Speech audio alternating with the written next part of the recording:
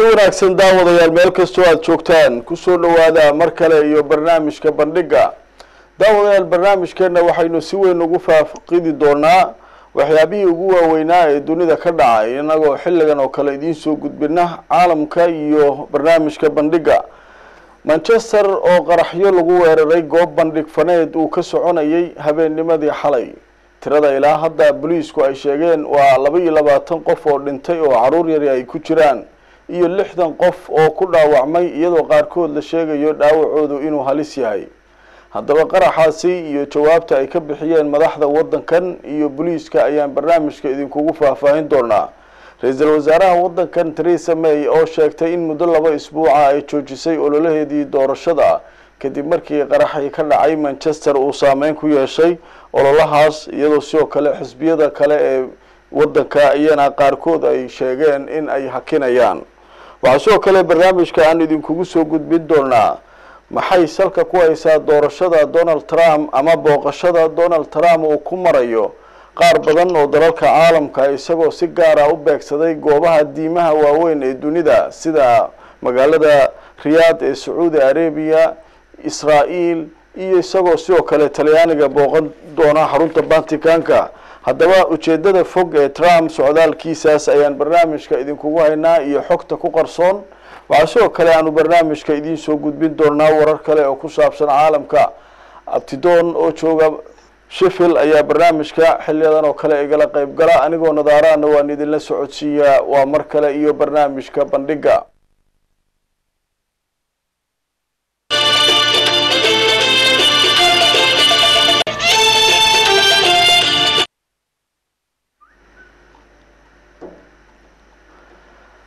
daawadayaal aynu ku bilowno ra'iisul wasaaraha waddankan theresa may ayaa iyadu sheegtay shaki la'aan in dalka britain argagixiso ay weerar ku soo qaaday.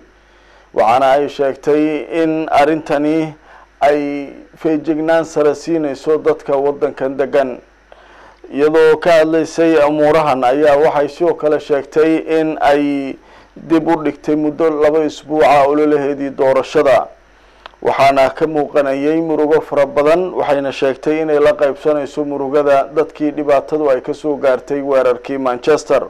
Ilaa iminka booliisku waxay sheegeen in labaiyo labaatan qof ay dhinteen lixdan ku dhowaadna ay dhaawacmeen iyadoo qaar dhaawacooda uu halis yahay iyadoo dadka dhintayna ay carruur u badnaayeen ama carruur yaryar ay ku jireen sida booliisku ay sheegeen. Dowladda waxay sidoo kale sheegtay qofka qaraxa sameeyey in la ogaa oo lagu raad joogay iminkana ay socdaan baaritaano iyadoo aan weli si rasmiya magaca qofka weerarkaa fuliyey aan la soo saarin. Haddaba aan idiin soo gudbiyo hadallada theresa may ay kaga hadlaysay qaraxaasi iyo sida looga baahan yahay shacabka britain iyagoo isku duuban in ay ka hortagaan argagixisada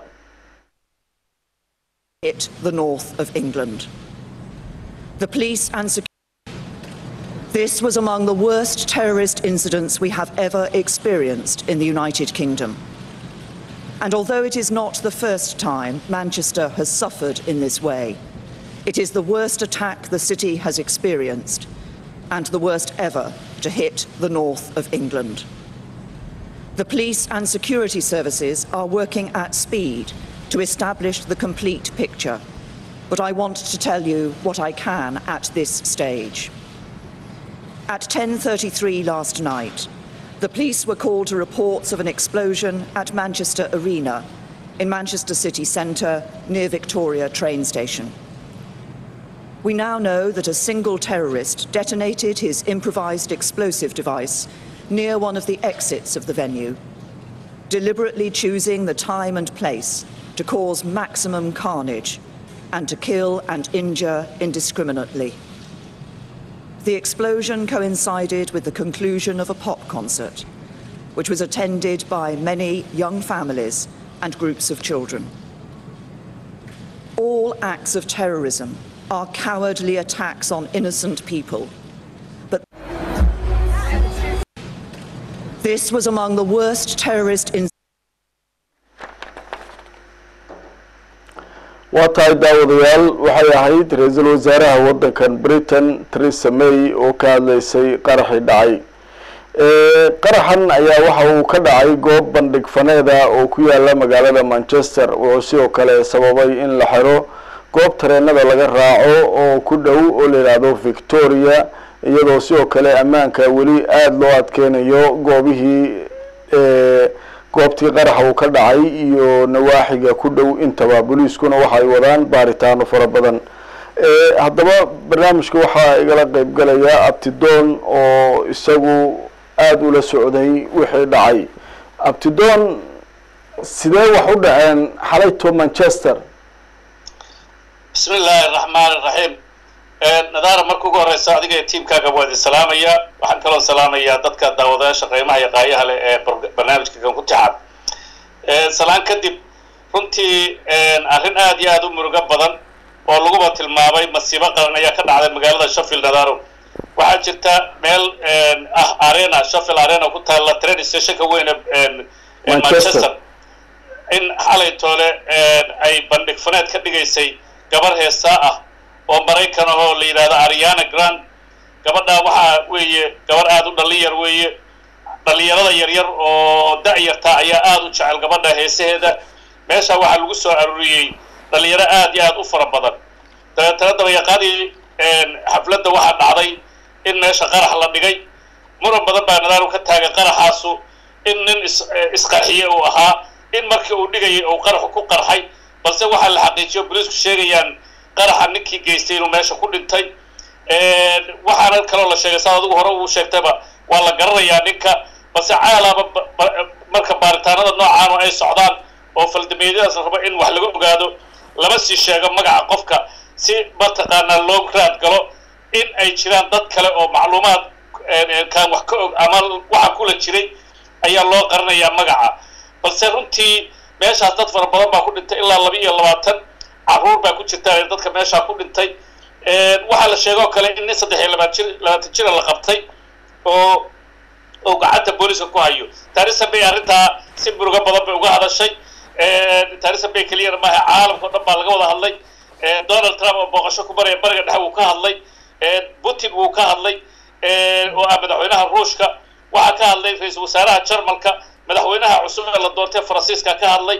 Adduunyadao dhan waa laga tacsiyeeyey arrintaan waxa weeye fal argagax leh oo aad iyo aad nasiib darro u ah ay ayuu ahaa. Waxayna ingiriisku ku tilmaameen nimanka dembiga baaraya inuu falkaanu ahaa fal argagixiso oo si ula kaca loogu sameeyey in meeshaas dad laba iyo labaatan carruur ah oo dhalinyaro ah mataqaanaa lagu wanjalo oo wax ay geysteen iyo cid ay dembi ka galeen aan midna la arag. Waxaa kaloo meesha la sheegay in ilaa konton iyo sagaal qof ay ku dhaawacmeen. Dhaawacu weliba waxa u badan dad dhaawac aad iyo aad halis ah oo isbitaallada greater manchester loola kala cararay. Marka nadaarow arrinta baaritaanku wuu socdaa xog badan lama sheegayo ilaa iyo ay wax ogaadaanna booliisku xog badan soo saari maayo. Marka halkaas ayay xaaladdu maraysaa nadaara waa tahay arrintan ra'iisul wasaaruhu ay tiri laba isbuuc ayaan ololahayga dib u dhigay oo xisbiyada kale qaarkood iyaguna ay dib u dhigeen. Maxay soo kordhinaysaa baad is leedahay? Runtii arrintan waa arrin murugo leh waa run doorashadii cambainkii baa dib loo dhigay. Cambainka in la joojiyey maalmo ayay joojiyeen. Waxaa kaloo la sameeyey caalamkii waddanka ingiriiskana hoos baa loo dhigay. Dhowr maalmood baa hoos loo dhigayaa. Waa arrin lagu muujinaya marugada heerka ay gaarsiisan tahay. Waa arrin mataqaanaa runtii theresa may markay hadda halka hadlaysay downing street waxay sheegtay in xilligan loo baahan yahay in dadku iskaashadaan in dadka dadku ka dhintay dadka ay jeclaayeen ku waayey in la garab galo. Dowladdu waxay ballanqaad bay samaysay ah inay dadka aad iyo aad u taageeri doonto. Waxaa samayn doonaa oo kale waxay waxa meesha ay ku casuuntay koox kooxda la yidhaha amniga ee lagu magacaabo cobra ayay saakay la shirtay. Waxaa la rabaa in mataqaanaa amniga muddada doorashada si aana waxaanoo kale u dhicin. Loo xajiyo ayaa la doonayaa. Galabtana mar labaad baan isku soo noqonaynaa bay tiri si maaragtay tillaabooyin kale oo saa'id ah oo kahortag ah oo mataqaanaa amniga lagu sugayo dadkana niyadda loogu dhisayo inaan mataqaanaa aanay ka niyad jebin. Runtii nadaaro waxaa lagu tilmaamay arrinta tan ka dhacda manchester arrin taariikhi ah oo aan taariikhda ingiriiska hore u soo marin nooceeda oo kale iyo dadka inta ku dhintay waa arrin la yidhi waa masiibo kaba sii daran xataa tii london ka dhacday labadii kun iyo shantii nadaaro waa tahay arrinta waddankan ayaynu ku jirnaa. Waxaa la leeyahay inkastoo qaraxyada wixii soo kordha aan soo gudbin doono doorashadii maadaama ay soo dhowdahay xisbiga laybarka ayaa waxaa la leeyahay iminka aad buu ugu soo dhowaanayaa xisbiga talada haya haweeneyda u tartamaysa theresa may. Aad bay markii hore u kala fogaayeen abtidoon hadda laybarkii wuu soo dhowaaday baa la leeyahay sida warbaahinta ingiriisku ay tilmaamayso. Maxaa keenay laybarku inuu soo dhowaado oo doorashadu inuu ku guulaystaba iminka rajo ay ka soo gashay? Waa runtaa nadaaro waxa weeye laybarku runtii waa soo laba kacleeyey. Sumcaddiisuna kor ayay u soo kacday. Balse waxaa loo aaneynayaa siyaasadda theresa may kadib markii ay ay mataqaanaa ay ku soo dartay cambaynkeeda in dadka waayeelka ah ee waddankan sidiisa waayeelku aad bay u fara badan yihiin in dhaqaalaha lagu bixiyo ee daryeelka ah ay ayagu qayb ka bixiyaan. Khaasatan qaybta ugu badan ay bixiyaan qofka la daryeelayahay hadduu hanti leeyahay guri leeyahay guryaha leeyihiin inta badan in guryaha la iibiyo oo mataqaanaa lagu kabo saacidaadda ay dawladdu bixinayso arrintaa dad badan baa ka carooday dementia tax bay u bixiyeen. Dementia tax waa cashuur la saarayo dadka qalqalay ama dadka maaragtay maskaxdooda aysan fiicnayn waayeeloobay cashuur dusha laga saaray ayaa loo arkay. Inkastoo hadda la leeyahay theresa may arrintaas way ka yar laabartoo dibagurashay ka samaysay balse arrintii waa arrin dhacday. Taas waxay keentay in laborka ay kor u soo kacaan. Haddana ay mataqaanaa sidii markii hore ay u kala fogaayeen oo laborka charlesba loo siinay aysan ahayn balse runtii wax badan isbedeli karaan laborkuna ay charles leeyihiin. Nadaara. Waa tahay. Marka isdiiwaangelintii waktigeedii waxaan u malaynayaa inuu dhammaanayo maxaa ka haray? Nadaaro isdiiwaangelintu way dhammaatay. Xalal labiyo tobankii ayay ku ekeen. Cid dambe oo isdiiwaan geli karaysa ma laha laakiin hal ban waxaan jeclaan lahaa dadka soomaaliyeed. Xaqa u leh inay wax doortaan lana doorto ee waddankan degan inay doorashada ka qayb galaan. Hadda waxaa muhiim ah in qof kastaahiba meesha goobta doorashada bisha bisha sideedda june uu goobta doorashada tago oo mataqaanaa codkiisa dhiibto. Codku waa wax muhiim ah waa wa waa marka keliya ee aad runtii qofka siyaasiga u sheegi karaysaad leedahay waxaan adigu aad wada raalli kama ihi. Wax kale ayaan doonaya ninkan kale kaa saxsan kan baan ku raacaya. Marka codku waa muhiim waxaan ku boorin lahaa ummadda soomaaliyeed ee waddanka ka degan in ay u soo baxaan doorashada oo aanay isdhihin codkaagu waxba batanayo cod kastaahu qaybuu leeyahay ha laga qayb galo intaasaan ku boorin lahaa soomaalidana. Waa tahay waa mahadsan tahay abtidoon daawadayaal arrimaha ku saabsan waddankan britain qaraxyadii dhacay iyo arrimaha doorashada wixii soo kordha. Barnaamijyadeena ayaanu idinkugu soo gudbin doonaa markan waxaynu u gudbaynaa sheekada ugu yaabka badan dunida ee socota. Donald trump madaxweynaha maraykanka ayaa booqasho waxa uu ku marayaa dhowr dal oo caalamka. Ah waxa uu sidoo kale markii ugu horeysay beegsanayaa booqasho uu dibadda ugu baxo. Tan iyo markii la doortay goobaha la yidhi diimaha ayay saldhigya u yihiin sida sacuudiga israa'iil talyaaniga iyo meelo kale ayuu booqan doonaa booqashadiisaas isagoo ay socoto ayaa dhanka kale gudaha maraykanka cadaadisyo xoog leh oo ku saabsan siyaasaddiisa iyo xiriirkii ruushka ula lahaa doorashadii ka dhacday maraykanka ayaa sii xoogeysanaysa iyadoo mas'uuliyiin gooniya loo saaray baaritaanka arrintaas isagoo madaxweynaha la leeyahay wararka qaar. Sababaha uu booqashooyinkan u soo aaday waa uu isku mashquulinayaa haddaba arrimahan waxaa aada ula socda engineer axmed warsame abtidoon oo ah aqoon-yahan soomaaliyeed oo ka falanqooda arrimaha caalamka.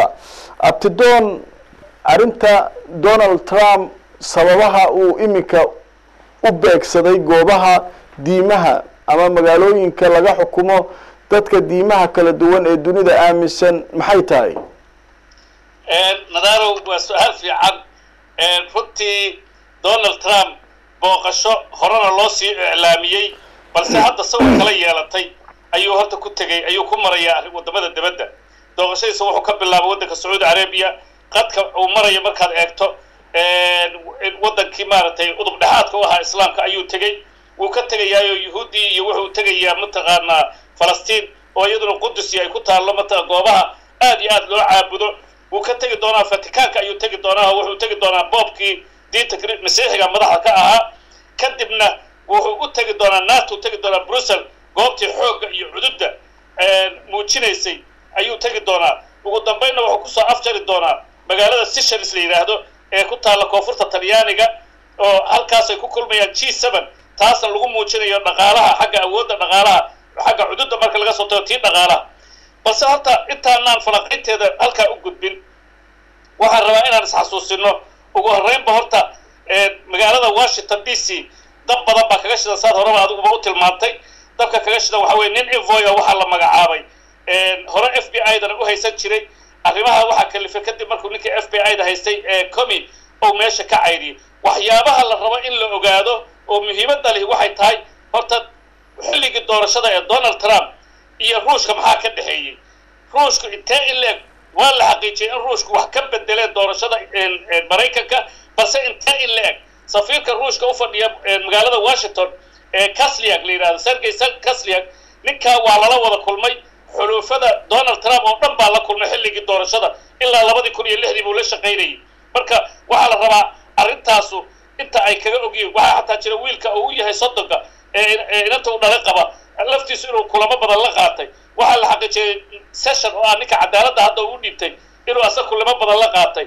Waxaa arrintaas haddana sii xoojiyey ninka la yidhaahdo comi james comi oo ah ninkii f b i da laga cayriyay hadda mem mem uu qoray memo waxaa jira wax memo la yidhaaho madaxdu markay shirayaan iyo la qoro oo wixii muhiima waa la qoraa markaasaa la fayl garaya saan loo kala ilaawin memcom baa la yidhahdaa waa memo of conference memcomkiisa wuxuu ku qoray madaxweynuhu inuu dhowr jeer ku cadaadiyey inuu baaritaankaa joojiyo. Arrintaas waxaa loo arkay in arrin loo mari karo geedi socod la yidhahdo geedi socodka xilka qaadista madaxweynaha. Taa haddaa ka soo tago waxaa jira donald trump xilligii doorashada hadallo fara badan oo adduunyada aan ka farxin baa ka dhacay. Hadday ahleed xagga islaamka hadday ahleed xagga yuhuudda xataa boobka ninka ahaa ee fatikaanka jooga way isku dhaceen. Markuu yidhi dadka waan ka cayrinaya dalkan. Marka halkaasna waxaa jira balqaadyo uu sameeyo dadka isaga taageersan xataa uu sameeyey. Haddaan u soo dhaadhaca booqashadiisa haddaba waxaan bal fiirinayna horta donald trump booqashadii uu ku yimid sacuudigu. Horta heer waxaa loo soo dhaweeyey aan caadi ahayn. Heer boqornimo oo aad u sarraysa ayaa loo soo dhaweeyey inkastoo indhaha kamarada waxa qabanaya ugu weynaa ay ahaayeen laba hablood oo keli ah ee waxa kala rag ahaayeen labadaas hablood oo ah miduna ay tahay gabadha uu qabo donald trump midna ay tahay gabadha uu dhalay ayaa meeshii oo ilaa shan boqol oo mataqaanaa dadka amniga ilaaliye ah ay ay ka dhex muuqdeen. Taasoo xataa gabadha isagu qabaa naag aad u dheer oo aad u quruxsan ay tahay indhaha soo jiidatay mataqaana dadkii amniga ilaalinayay. Aad iyo aad baa taana kamarada looga arkaya caalamka oo dhan.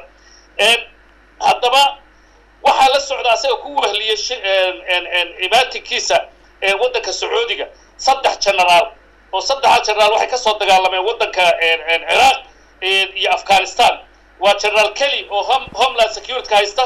Waa generaal mattis oo madog loo yaqaano ah gaashaandhigga haysta. Iyo generaal macmaster oo ah ninka la taliya xagga siyaasadda ah. Waxaa kaloo isna la socday ninka loo bixiya the king of oil boqorka mataqaa saliidda oo haddana ah wasiirka arrimaha dibadda master tellerson ninkaasa isaguna la socday. Marka ragga uu soo kaxaysa markaad eegto iyo qaabka uu meeshaan u soo aaday ninkan nin ganacsi u yimid buu horta runta uu egyahay.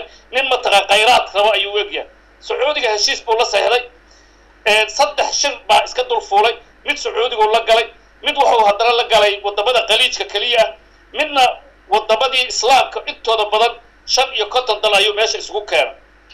Haddaba maxaa ka soo baxay? Haddaan soo koobo runtii qisa waxaan meesha ka macluumaadka hayna way fara badan yihiin. Haddaan soo koobo horta waddanka sacuudiga ilaa boqol iyo toban bilyan oo dollar buu la saxiixday oo ah hub inuu siinayo taas macnaheedu waxay tahay nadaaro in horta gobolka hub lagu soo daadinayo ciidda ka badan. Innagoo og weliba xilligii ninka la yidhahdo barack obama in uu hub fara badan isaguna ka iibiyey oo boqol iyo shan iyo toban bilyan oo dollar ah. Marka horta amnigii meesha kolley waxaan is leeyahay hubkaasu dhibaato weyn buu u keenayaa. Mana aha sacuudiga kaliya gobolka oo dhan ilaa soomaaliya ilaa etoobiya ilaa eritrea ilaa north africa oo dhan ayuu hubkaanu khatar weyn ku yahay iyadoo horeba hub fara badan u yaalay dagaalo dadka aafeyna ay ka socdeen. Waxaa kaloo la saxiixday laba boqol oo bilyan oo dollar oo sacuudigu ku maalgelinayo warshadaha maraykanka. Taana waa lala saxiixday waa faa'iido uu u soo hooyey maraykanka. Haddaan u soo noqdo shirkii ou isugu yeeray wadamadii islaamka khudbad ou akriyay waxay ahayd dagaalun bay ahayd. Anigu runtii markaan soo koobo waa uu dhiilo iyo colaado hor leh in gobolka uu ka huro. Ayuu madaxweynuhu ka hadlay. Wuxuu yidhi argagixisada soo qabqabta. Wuxuu yidhi guryihiina ka soo saara. Sida tay ogyihiin inay guryahooda fadhiyaan.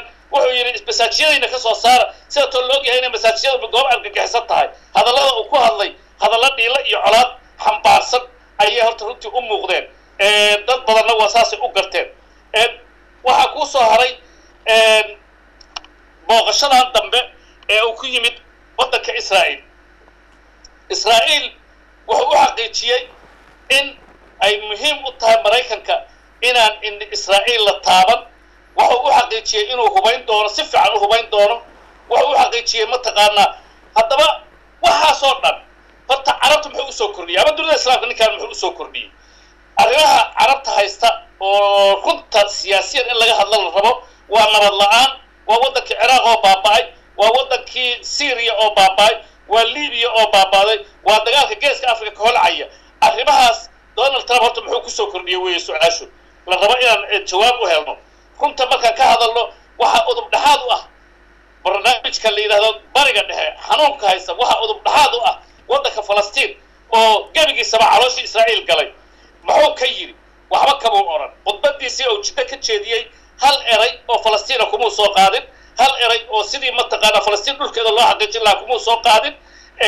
Waxa uu ka hadlay oo xoogaa ou yar canaantay eeraan oo mataqaanaa ahba runta dunida islaamka o dhan marka waddanka keliya ee si dimuqraadiya madaxdooda u soo doortaan oo haddana madaxweyne ruuxaani dib loo doortay. Marka waxaad arkaysaa inaan xal aanu meeshaan u keenin ninkaanu laakiin oo xisaabtan iyo mataqaanaa dhaqaalo oo u yimid. Waxaa ku soo harta tan yurub iyo tan uu imaanayo vaticanka waata hore kugu soo sheego erayo badan baa ka dhacay. Raadkiibuu tirtirayaa wuxuu tirtirayaa sumcad xumadii. Waa kii naata yidhi waxa weeye waa obsolet waxa weeye waa waxaan loo baahnayn hadda kadib oo mataqaanaa dhalmadays ah. Marka meesha in laga saaro u baahan.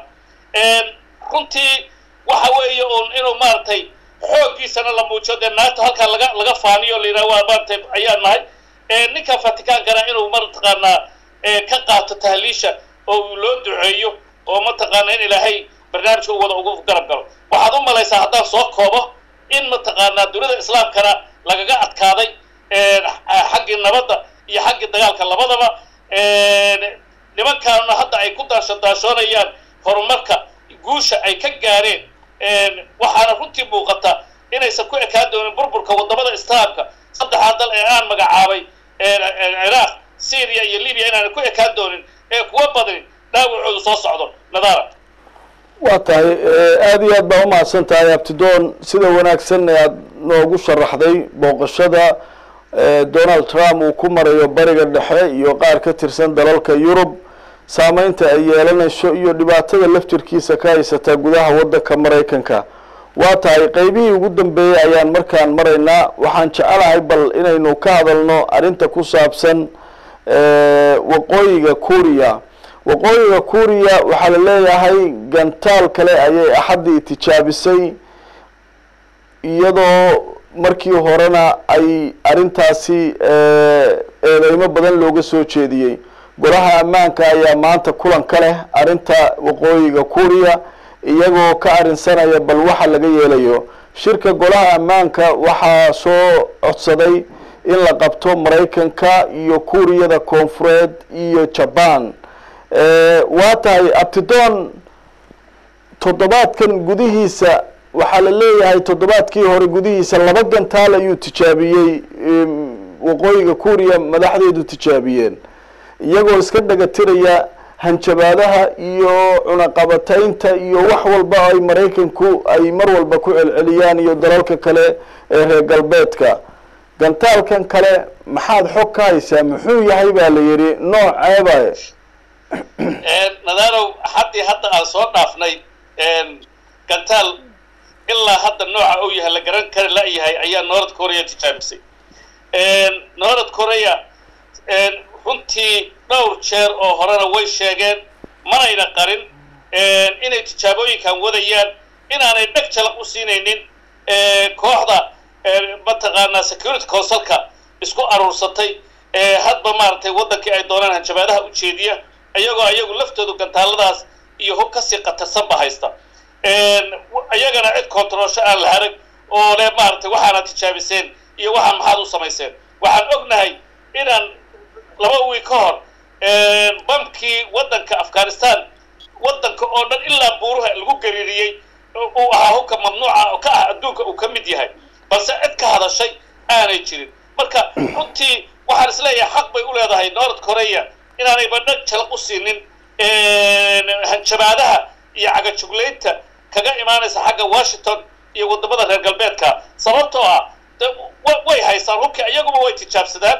Cid ka hadashaana ma jirto balse gantaaladooda helaan. Haddaan u soo noqo su'aashaada gantaalkan muxuu ahaa nadarow ilaa hadda gantaalkan wuxuu yahay cid sheegta waa la garan la'ya gantaalkan gantaal ka dheereeya buu ahaa kuwii hore markuu hawada gala kadib baa la ogaaday. Wax alle wuxuu yahayna la garan maayo. Meel uu ku dhacayna ilaa hadda lama sheegin.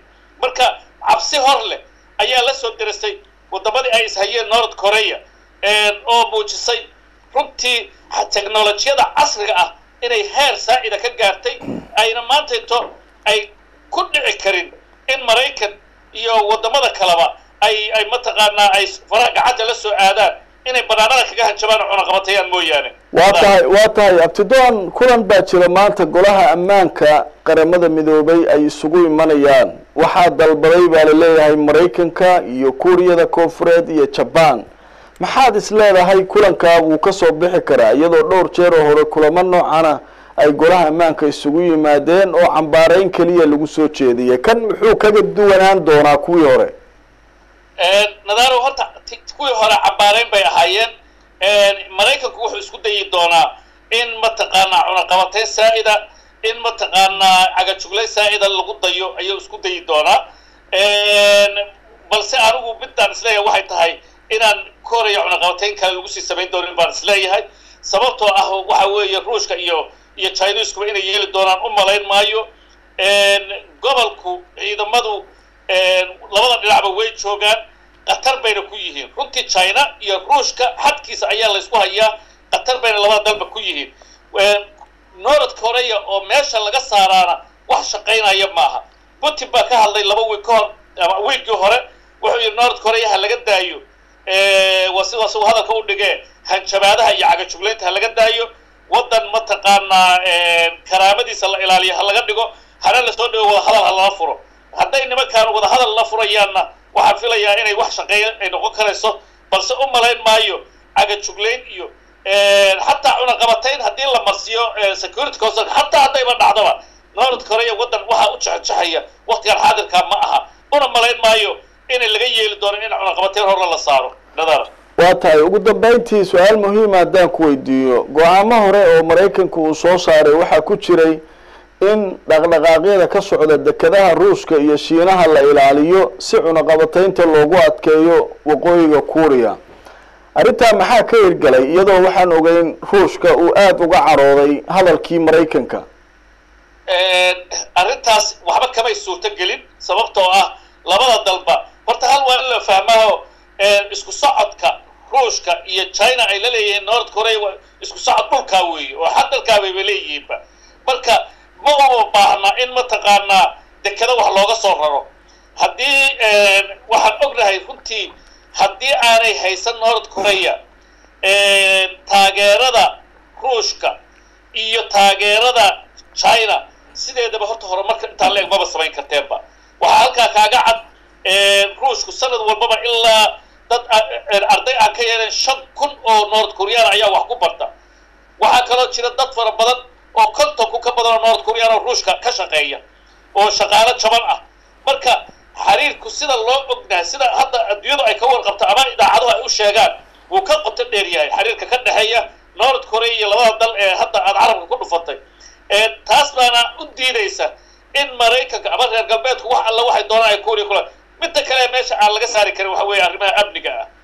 North korea waa waddan ilaa hadda ilaa shan nuclear ayuu test gareeyey oo uu tijaabiyey. Tijaabooyin badan oo nuclear uu sameeyey. Waa waddan hub culus haysta. Balse aanba la ogeyn lana qiyaasi karin. Awoodda hubka u haysta ay tahay. Cid ka hadli karta aan la arag cid ka warqabta aan la arag waddanka waddanka sirtaa la yidhahdaa waa waddan sirtiisoo dhan qarsoon tahay ay dhulka hoostiisa u taallo. Waxaan kaloon la ogeyn hubkiisu meesha uu yaallo. Waddan la og yahay maaha.